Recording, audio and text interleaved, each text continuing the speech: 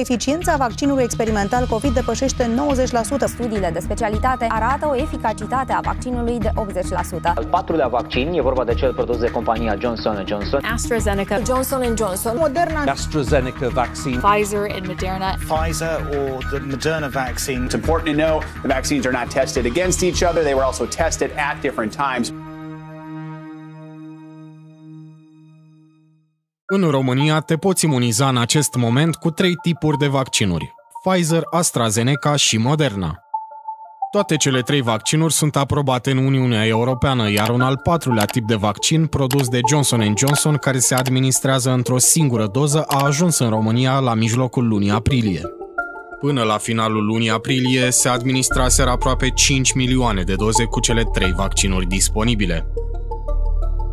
Unul dintre criteriile la care te uiți, probabil, când alegi cu ce vaccin te imunizezi, e rata de eficacitate.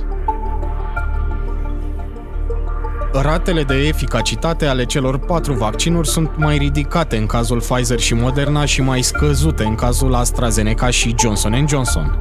La prima vedere, comparația este foarte simplă. Pfizer și Moderna sunt vaccinuri mai bune, iar AstraZeneca și Johnson Johnson sunt vaccinuri mai puțin bune. De ce ai alege un ser cu o eficacitate de 67 sau 76% când poți alege dintre cele cu peste 90%? Mai întâi, hai să vedem ce înseamnă de fapt eficacitatea unui vaccin. Ca să găsim un răspuns la această întrebare, trebuie să înțelegem cum s-au testat cele patru vaccinuri în studiile clinice la care au participat zeci de mii de oameni. Participanții sunt împărțiți în două grupuri egale, o jumătate va fi vaccinată cu serul aflat în teste, iar cealaltă jumătate va fi vaccinată cu un ser placebo. Ambele grupuri se întorc în comunitățile lor, dar sunt monitorizate în următoarele luni pentru ca cercetătorii să afle dacă se infectează sau dacă nu. În perioada de monitorizare, cercetătorii se uită cum sunt distribuite persoanele infectate în fiecare dintre cele două grupuri, vaccinat sau placebo. Dacă numărul infectațiilor este egal distribuit în cele două grupuri, eficacitatea vaccinului este 0%. Altfel spus, cu sau fără vaccin, oamenii au avut același risc de infectare. Dar, dacă toți cei infectați provin doar din grupul placebo nevaccinat, atunci eficacitatea vaccinului este de 100%. Adică cei din grupul vaccinat au fost protejați de ser, să privim acum cifrele și procentele vaccinului cu cele mai multe doze administrate în România până acum. La testele Pfizer au participat 43.000 de oameni. La monitorizare, cercetătorii au găsit 170 de persoane infectate. Să vedem din ce grupuri au provenit aceste persoane. 162 de infectați au provenit din grupul placebo, nevaccinat. 8 persoane infectate au provenit din grupul vaccinaților. Concluzia cercetătorilor, pentru cei vaccinați, riscul de îmbolnăvire a fost cu 94% mai mic decât pentru cei nevaccinați. Așadar, eficacitate de 94% pentru vaccinul Pfizer.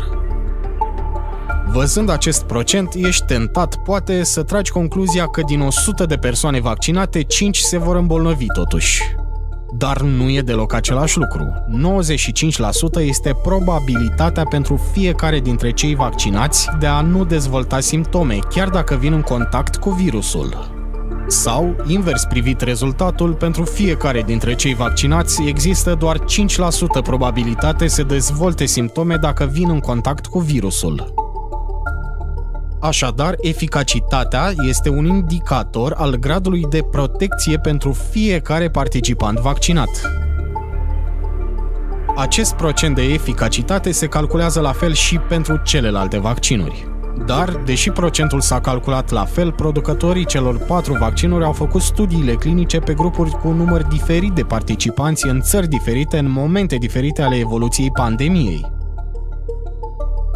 Pfizer și Moderna, de exemplu, ale căror procente de eficacitate sunt mai apropiate, au făcut testele doar sau predominant în Statele Unite, aproape în aceleași perioade de timp, adică la sfârșitul verii spre toamna din 2020. Pe de altă parte, AstraZeneca a derulat testele clinice în aprilie-noiembrie 2020 în trei țări, Marea Britanie, Brazilia și Africa de Sud. Johnson Johnson a făcut testele în septembrie-ianuarie, în mare parte în Statele Unite, dar și în Africa de Sud și țări din America Latină. Diferențele dintre zonele geografice înseamnă populații diferite. De asemenea, perioadele în care au fost efectuate testele au prins virusul în etape diferite de evoluție, când răspândirea, tipul de tulpină și numărul celor infectați au fost diferite. O comparație corectă a procentelor de eficacitate ar presupune condiții identice pentru toate tipurile de vaccin, ceea ce în realitate nu s-a întâmplat. Măsurarea eficacității unui vaccin în testele clinice contează. Dacă procentul nu depășește 50%, autoritățile nu aprobă folosirea lui. Dar eficacitatea nu este singurul și, spun experții, nici cel mai important indicator pentru așteptările pe care societatea le are sau ar fi realist să le aibă de la un nou vaccin. O persoană complet vaccinată, prima doză, rapelul, perioada de după rapel, este 100% protejată de simptome severe, spitalizări și decese. Și acest lucru este aspectul important. În cazul COVID-19 avem două situații extreme. Cea mai optimistă situație este să nu pățești nimic. Cea mai dramatică este decesul. Între cele două avem asimptomatici, adică oameni infectați dar care se simt bine, apoi oameni infectați care au simptome ușoare sau medii și oameni care fac forme grave pentru care este nevoie de spitalizare.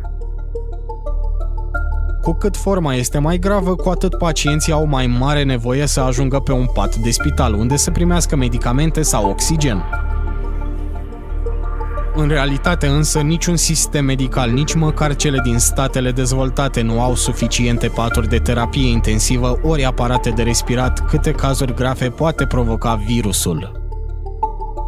Acesta este cel mai prost moment în care, dacă te infectezi, ai nevoie de servicii de terapie intensivă, pentru că acestea nu sunt disponibile.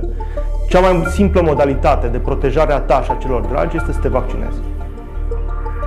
Și chiar dacă, ipotetic, ar fi suficiente locuri și aparate la ATI, unii dintre cei care ajung la spital cu forme grave ori au și alte boli cronice și ar putea pierde viața. Ori testele clinice au arătat că vaccinul este eficace unde contează cel mai mult, adică împotriva formelor grave ale bolii și a deceselor provocate de COVID-19.